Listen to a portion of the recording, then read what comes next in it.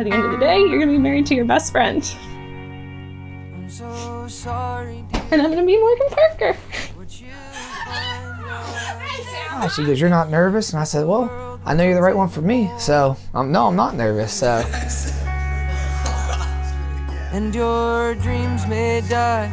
But you will stay alive. And sometimes I so we've known each other since we were real little. Probably the funniest story, we were actually at this church here for our confirmation. She goes, Evan, the first time I tried to talk to you, you were standing at the cake table. That's a nice cake, ain't it? And she said, I just turned around and walked away. That's probably my favorite story of when we kind of first met. somehow. This heart is yours The marvelous, wonderful mystery we call God. In creating the human race, you willed that man and woman should be one. Join, we pray, in this bond of inseparable love, Morgan and Evan, these your servants who are to be united in the covenant of marriage.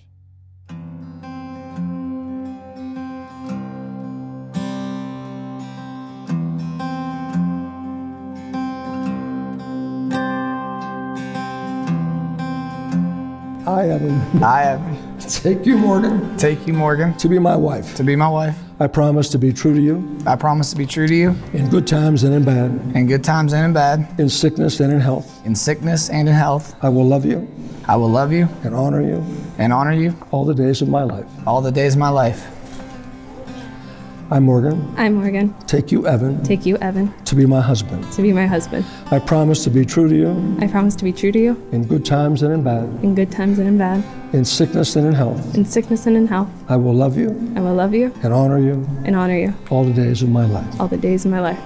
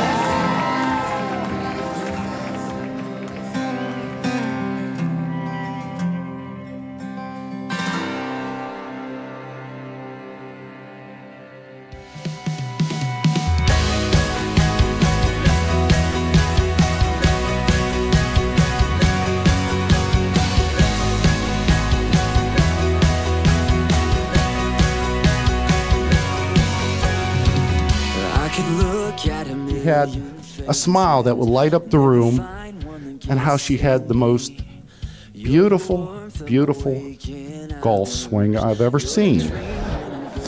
And I, at that time, I, I thanked God. I said, Thank you for making her a little bit like me. But I wasn't done just yet.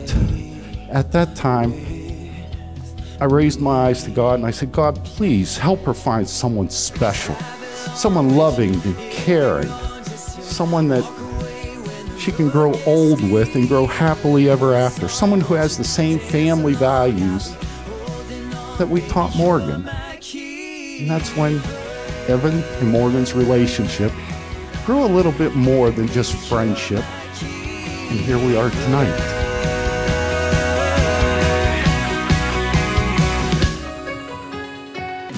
I belong with you. It'd be wrong just to walk away when the road gets steep. The truth is, these two have been a couple for over five years, and Morgan still wanted to get married.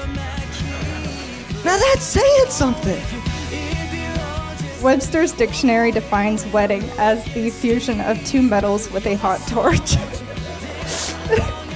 well, you know something? I think you guys are two metals, gold medals. I'm so grateful that you found each other, and I'm grateful to share this day with you. I love you guys. Cheers to the happily married couple.